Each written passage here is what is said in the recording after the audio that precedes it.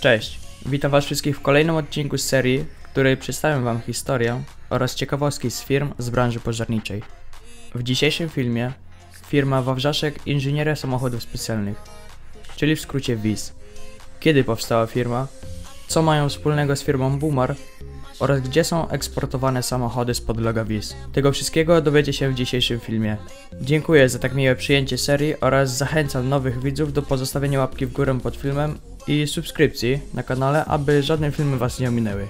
Ja już nie przedłużając, zapraszam Was do oglądania.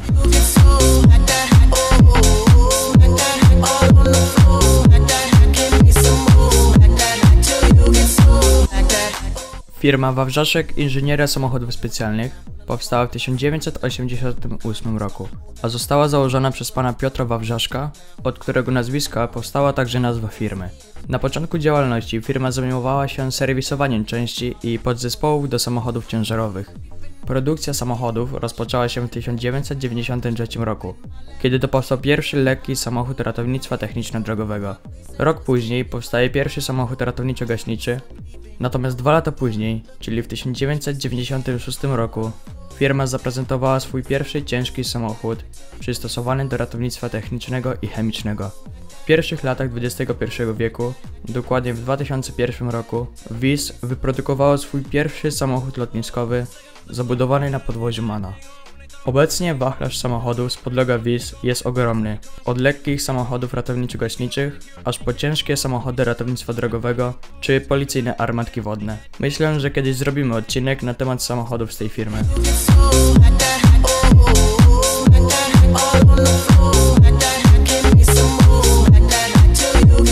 Przez długą, bo już ponad 30-letnią działalność, firma zapewniła sobie pewną pozycję na rynku oraz zaufanie wśród klientów z całego świata. Firma aktualnie stanowi jednego z członków grupy WIS, w skład której wchodzi także szwedzka firma Ruberg AB, produkująca pompy pożarnicze oraz Boomer Koszalin, czołowy producent podnośników w Polsce. W 2016 roku do grupy WIS dołącza firma Thoma, znany niemiecki producent samochodów ratowniczo-gaśniczych, który zmienił także nazwę na WIS Thoma.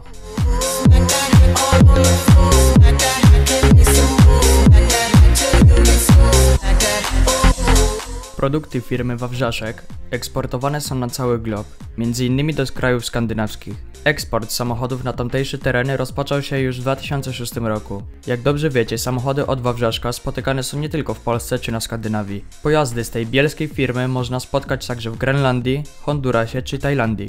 Zaufanie do firmy kraje zagraniczne mają m.in. przez rozwiązania technologiczne stosowane przez firmę. Samochody przeznaczone na eksport nie są tylko malowane w barwach odpowiadających danemu krajowi, lecz także są przystosowywane do warunków panujących w kraju. Zawieszenie, ogumienie i umiejscowienie sprzętu pozwalają na bezpieczną i komfortową eksploatację wozów w zagranicznych krajach.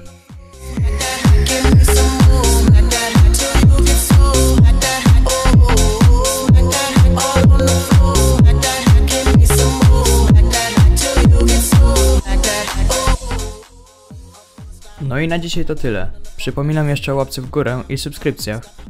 A no i pamiętajcie o linkach do Instagrama i fanpage'a, które standardowo znajdziecie w opisie filmu. A ja wam dziękuję za uwagę i wytrwanie do końca. Trzymajcie się, cześć i do następnych filmów.